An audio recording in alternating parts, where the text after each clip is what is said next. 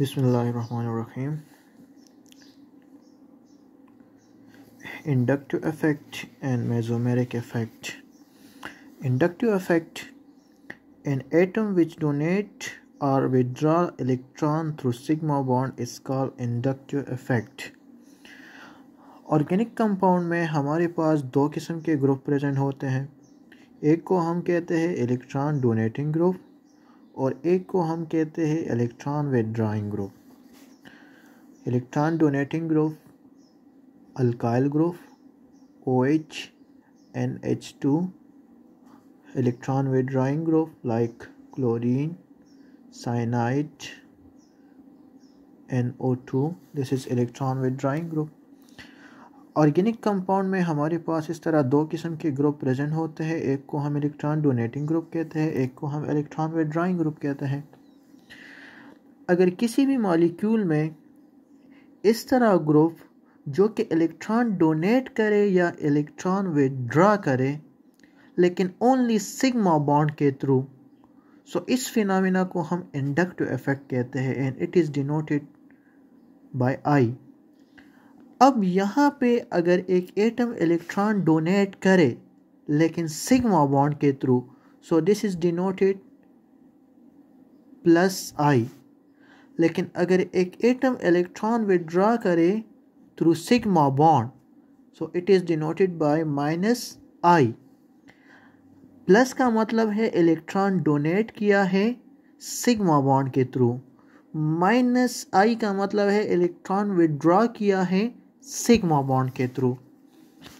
अब यहाँ पे मेजोमेरिक इफ़ेक्ट कि एक एटम इलेक्ट्रॉन डोनेट और withdraw from pi bonds, through pi bonds. यहाँ पे मेनली लोन पेयर की डोनेशन होती है या वो इलेक्ट्रॉन विड्रॉ करती है।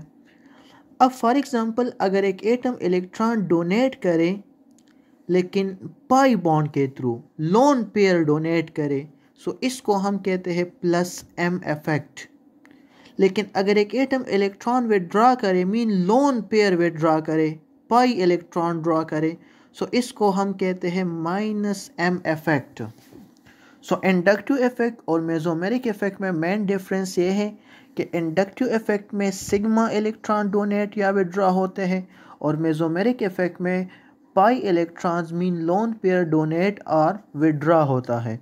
प्लस का मतलब है डोनेट, माइनस का मतलब है विड्रॉ। अब फॉर एग्ज़ाम्पल अगर मैं एक कार्बोकेटाइन ले लूँ दिस इज़ प्राइमरी कार्बोकेटाइन अब हमें पता है कि अल्काइल ग्रुप जो है इलेक्ट्रॉन डोनेटिंग ग्रुप है, वो इस पॉजिटिव चार्ज को स्टेबलाइज करेगा, इसको इलेक्ट्रॉन डोनेट करेगा। लेकिन इस अल्काइल ग्रुप के पास तो कोई भी लोन पेयर नहीं होता। तो यहाँ पे जो इलेक्ट्रॉन इसको डोनेट कर रहा है जब लोन पेयर नहीं है और कोई भी पाई बॉन्ड नहीं है तो इसका मतलब है कि सिग्मा बॉन्ड के थ्रू डोनेट कर रहा है। सो so, यहाँ पे कौन सा इफ़ेक्ट है? प्लस आई इफ़ेक्ट अब फॉर एग्ज़ाम्पल अगर मैं क्लोरो बेंजीन ले लूँ हम हम कहते हैं कि क्लोरीन यहाँ से इलेक्ट्रॉन विड्रॉ कर रहा है। लेकिन क्लोरीन सिग्मा इलेक्ट्रॉन विड्रा कर रहा है ना। सो so, यहाँ पे क्या इफ़ेक्ट होगा? माइनस आई इफ़ेक्ट अगर फॉर एग्ज़ाम्पल मैं कह रूँ कि H C L chlorine electron withdraw कर रहा है लेकिन हाइड्रोजन के पास तो कोई लोन पेयर नहीं है तो जब ये इससे इलेक्ट्रॉन विड्रा कर रहा है sigma bond sigma electron withdraw कर रहा है। सो माइनस आई इफ़ेक्ट अब फॉर एग्ज़ाम्पल अगर मैं ले लूँ फिनोल सोफिनोल में जब हाइड्रोजन रिलीज़ हो जाए so it's converted into negative charge और ये नेगेटिव चार्ज बेंजीन रिंग को अब डोनेट करेगा. सो नेगेटिव चार्ज का मतलब क्या है? लोन पेयर है ना? तो यहाँ पे तो कोई भी सिग्मा इलेक्ट्रॉन डोनेट नहीं हो रहा है. ये देखो लोन पेयर डोनेट हो रहा है. तो जहाँ पे लोन पेयर डोनेट हो तो डोनेशन के लिए हम पॉजिटिव साइन लिखते हैं, लेकिन सिग्मा इलेक्ट्रॉन नहीं है लोन पेयर है. तो इसके लिए हम एम लिखते हैं. पॉजिटिव एम इफ़ेक्ट होगा मेजोमेरिक इफ़ेक्ट होगा।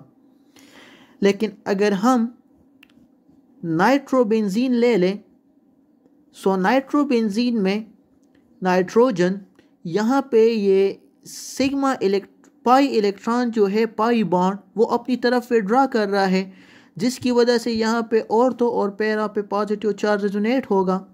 तो यहाँ पे पाई इलेक्ट्रॉन विड्रा कर रहा है सो माइनस एम इफ़ेक्ट यहाँ पे प्रेजेंट है। अब